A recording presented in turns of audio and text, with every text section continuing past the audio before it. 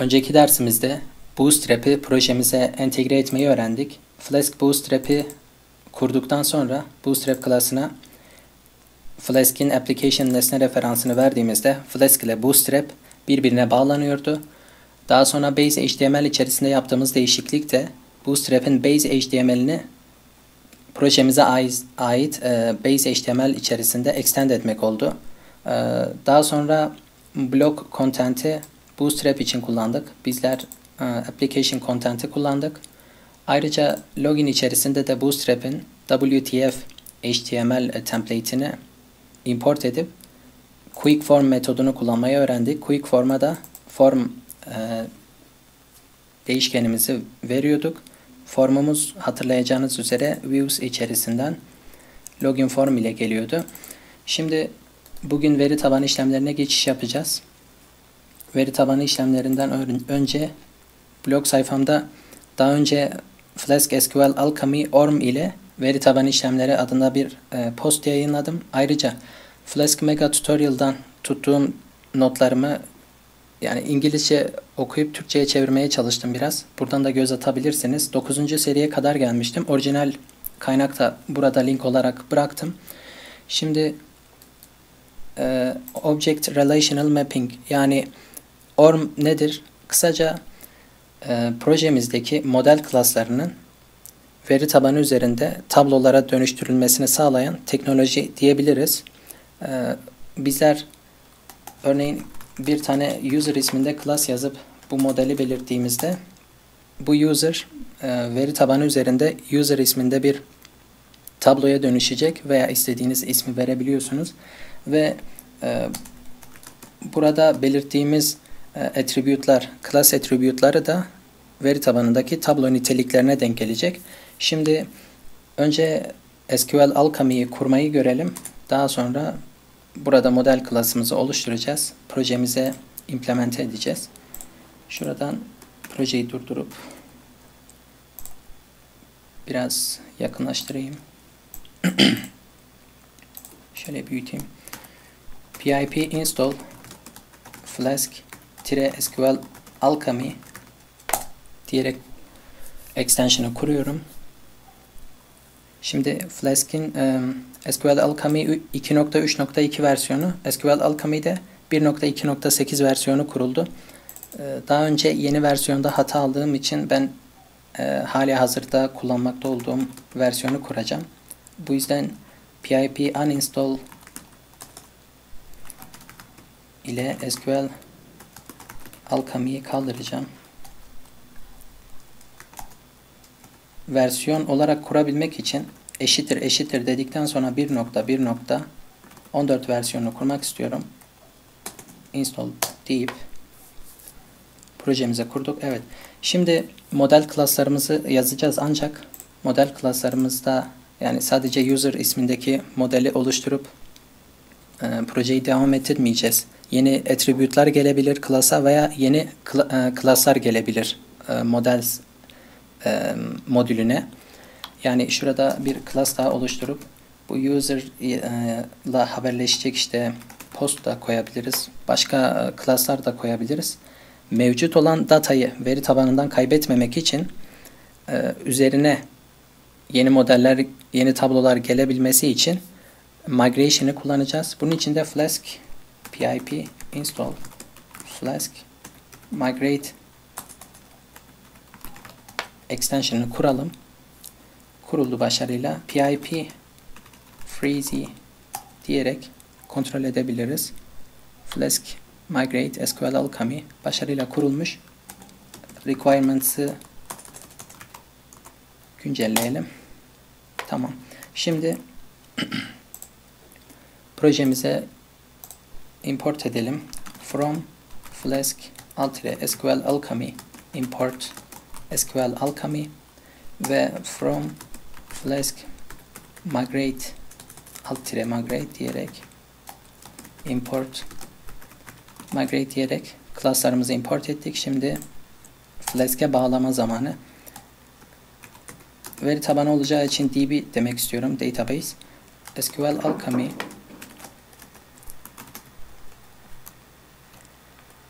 nesne e, referansı olarak Flask'in nesne referansını verdik, bağladık. Migration için de migrate isminde bir tane değişken oluşturup migrate ile bir tane nesne oluşturuyorum. Buraya e, application'ı ve database'i verdiğim zaman Flask'in application nesne referansı ile SQL Alchemy'nin nesne referansı birbirine bağlandığında yapacağımız değişiklikler veri tabanına güzelce etki edecek. Şimdi burayı kaydettim. Şu, şurayı unutmayayım. Models e, modülünü de burada import ettim. Herhangi bir sıkıntı çıkmaması için. Şimdi konfigürasyona bakalım. SQL Alchemy için konfigürasyon dosyamıza geliyoruz. SQL Alchemy'nin e, veri tabanı olarak e, şu anda SQLite kullanacağız. SQL Alchemy'nin dokümantasyonunda belirttiği SQLite için veya MySQL için veya PostgreSQL için yapmanız gereken e, konfigürasyonlar dokümanda belirtilmiş. Şimdi biz SQLite kullanacağımız için hafif olduğu için e, direkt SQLite 2 nokta üst üste 3 tane slash şurada OS path join diyerek base altında yani kök dizin altında veri tabanı isminde bir tane dosya kullanacağımı belirtiyorum. Buraya istediğiniz ismi verebilirsiniz. Ben veri tabanı nokta db dedim basit olarak. Ee, şu base geldiği yeri de belirteyim kısaca. OS ile e, OS modülü ile e, işletim sistemine ait e, şeyleri kullanabiliyoruz. E, komutları veya işletim sistemi üzerinde yapmak istediğimiz işlemleri kullanabiliyoruz. os.pet.dirname diyerek file e, global değişkenini bu metoda parametre olarak verdiğimizde config bulunduğu yerin config dosyasının bulunduğu yerin dizinini absolute pet ile base'ire atamış olduk. Şimdi konfigürasyonu da yaptıktan sonra basit olarak şey üzerinde hmm, models üzerinde bir tane model class oluşturacağım. Bunun model class olması için SQL Alchemy'nin nesne referansını import edeceğim. db demiştik init içerisinde. Şurada db içerisinden model isminde bir class'ı extend edeceğiz. Şimdi tablo adımızı verelim. Table name. User ismini vermek istiyorum. Bu model class'ın bir tane yani tabloda id'si bulunacak. db.column dediğim zaman bir tane kolon oluşturacak. Burada tipini belirtiyorum. Integer olarak. Ve bunun bir primary key olduğunu belirtiyorum. Username olsun kullanıcının. db column no dediğimde string 30 karakterlik bir alan dedim. Boş olmaması için nullable false diyebilirim. Unique olmasını istiyorsanız da eşittir true yapabilirsiniz. Bir de password alanı oluşturalım. Parolanın unique olmasına gerek yok. Şimdi Parola normalde veri tabanı üzerinde doğrudan tutulmaması gerekiyor. Çeşitli algoritmalarla e, kriptolayıp öyle tutmamız gerekiyor e, veri tabanı üzerinde. Ancak biz basit olarak öğrendiğimiz için şu anda buna gerek yok. İlerleyen aşamada yapmayı düşünüyorum. Şimdi e, model klası tanımladık. Veri tabanını başlatmak için flask db init diyerek bir tane hemen projemizde göreceğimiz gibi migration klasörü oluştu. Migration klasörünün e, oluştuktan, oluşturduktan sonra flask db migrate diyerek eksi m ile ilk e, commit mesajımızı verebiliriz. Kitaptaki mesaj gibi user model diyebilirim. Bunu da dedikten sonra şimdi veri tabanımız oluştu normalde. Dosyayı açayım. Tutorial altında YouTube channel. Şimdi veri tabanı ASD ASD yazmışım. Tamam. Şimdi open dediğim zaman şu anda user modeli yok. Flask db upgrade dedikten sonra user'ın tablosunu da bekliyorum. Evet. User tablosu da geldi. Şimdi ufak bir terminal işleminde veri tabanı işlemleri yapalım. İlerleyen aşamalarda da formdan veri alıp e, forma e, şey veri tabanına kaydetmeyi öğreneceğiz. Python shell ortamına geçiş yaptıktan sonra from my app import db dediğim zaman from uh, my app import dediğim zaman init dosyasını aslında import etmiş oluyorum. Şöyle dediğim zaman init dosyası import edilir. db'yi sadece alacağım. From my app nokta models import user dediğimde de user'ı almış olacağım. Şimdi select sorgusunu görelim. user.query.all dediğim zaman select yıldız from e, user tablosu demiş gibi bana dataları getirir. Şu anda boş olduğu için veri tabanımız herhangi bir veri olmadı. User isminde bir tane user oluşturacağım. Username olarak Adnan. Password olarak da çok gizli parolayı verdim. Şimdi bu user objesinin veri tabanına göndermek için db nokta session nokta add içerisine user'ı verdiğimde user artık session'a ekledim.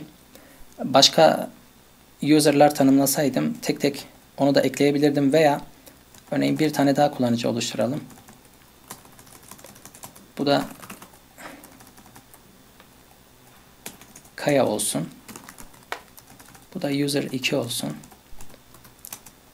db.session.add diyerek user 2'yi belirtebilirim veya birden çok aynı anda eklemek için add all dediğimde şurada dizi oluşturup içerisine user 2 user diye belirtebilirim. Şu anda direkt add'i kullanacağım. User 2'yi de ekledim. db.session.commit dediğim zaman veri tabanına işleme gerçekleştiriyor. Browse data dediğimde user'a geldim. Evet. Adnan'la Kaya kullanıcıları parola, parolalarıyla beraber kaydoldu. Şimdi user.query.all diyerek hepsini çağırayım. E, liste olarak e, var olan kullanıcıları döndürdü. Örneğin bunlardan ilkinin username'ini gördüğümde adlarını görüyorum. Şöyle sorgular da yapabiliriz. User nokta query nokta dediğimde username'i kaya olanı getir dediğimde base query object dönüyor.